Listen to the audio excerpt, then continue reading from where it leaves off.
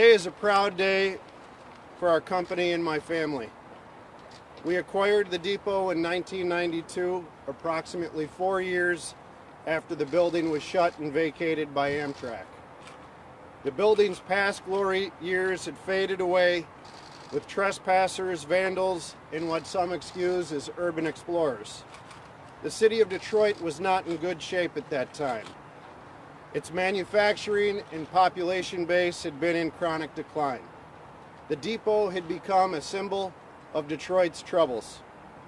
Although my father and I believed in this building and Detroit, many others did not.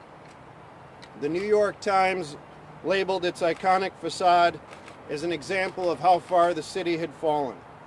The past Detroit City Council members in 2009 voted, resolved, and ordered its demolition. At least one of our major Detroit newspapers published an editorial advocating for leveling it.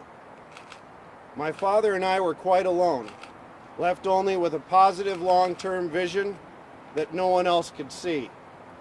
Certainly we had made acquisitions in the past that at first looked rough and later blossomed. However, this one was different. Our critics were not just throwing words, but rocks. We held strong over many years. The city went into bankruptcy and came out the other side. The politics changed from despair to hope and reinvestment began. We took actions as well ridding the building of asbestos and debris, securing it and protecting it from vandals, installing a freight elevator and over 1,000 brand new windows. Development in the downtown was spreading our way.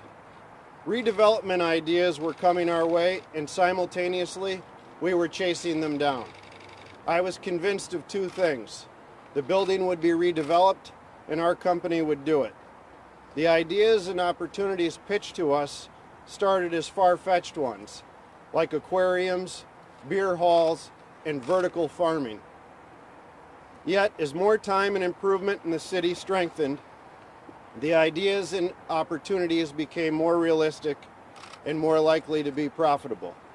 The challenge as I it, could I find a development of the caliber and uniqueness worthy of the depot's former glory as one of the city's most important buildings. On October 13, 2017, a meeting was arranged by a friend that connected me to the grand development I was looking for. I had mixed emotions. I knew that this was exactly what the building needed, the golden opportunity for its rebirth, the American second chance. I also knew that it would not be possible for me and our company to co-captain such a dramatic project. The depot's redevelopment and revitalization would only be part of an enormous plan taking in much more than the depot itself. The developer had to be the owner and the user. I would characterize the negotiations as respectful and they were not protracted in any way. The due diligence of checking out the bones of the building and formulating plans took the vast majority of the time. The deal is complete. The future of the depot is assured. The next steward of the building is the right one for its future. The depot will become a shiny symbol of Detroit's success and progress. Ford Motor Company's blue oval will adorn the building. I thank Bill Ford, Ford Motor, and the Ford family for their vision and commitment to this building. I thank my own company's key players that have played important roles not only in the transaction, but in the stewardship of the building since we acquired it. I thank Tom Buell, my friend, that made the first connection. I thank David Dubinsky of Ford Motor Land, Michael Samhat of Crown Enterprises, Ken Carter of the Ambassador Bridge. I thank Mayor Duggan and the City Council for creating and fostering a hopeful and positive environment in the city of Detroit.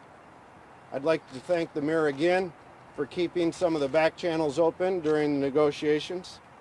And I thank Keith Crain for hosting Homecoming Detroit at the depot in the fall of 2017.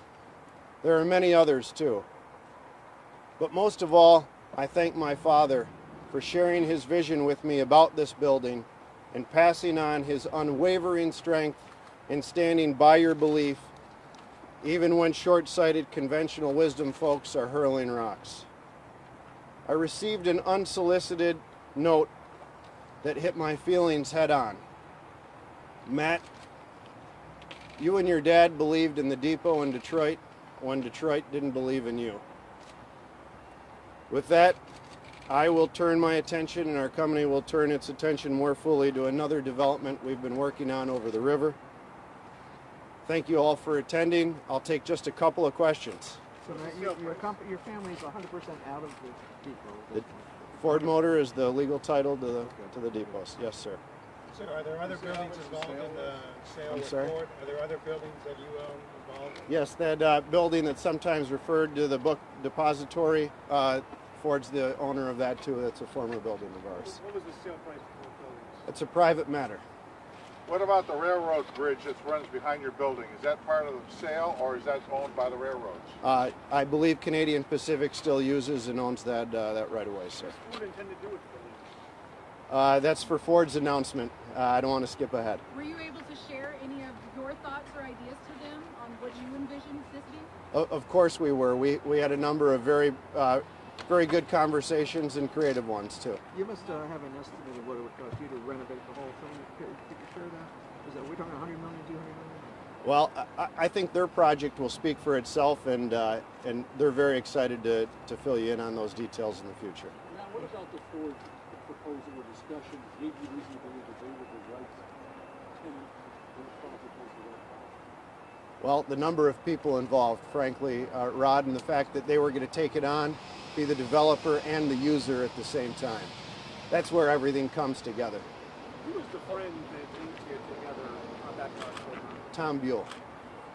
Tom worked this kind of deal behind the scenes for them? He introduced he introduced us. Given how much trouble the station has caused your family over the last quarter century, in hindsight, was it worth it to buy it? do? I mean, It, it's here because we bought it, John. How important was it to have an automaker in this building? It's it's the best. I mean, I, I know that the city was was was looking for a uh, a moonshot with Amazon, but I think we got what's really fitting for our city. What message do you want to send to a lot of people who obviously own property in the city of Detroit uh, that's become an eyesore, that they're feeling the same way? They see a vision just like you did, and um, and they're really hoping that something flourishes. Well, it, if you if you hold on and you, and you and you take care of it, and and if it's strategic, uh, you have plenty of reason to be excited. So thank you all very much. Now that this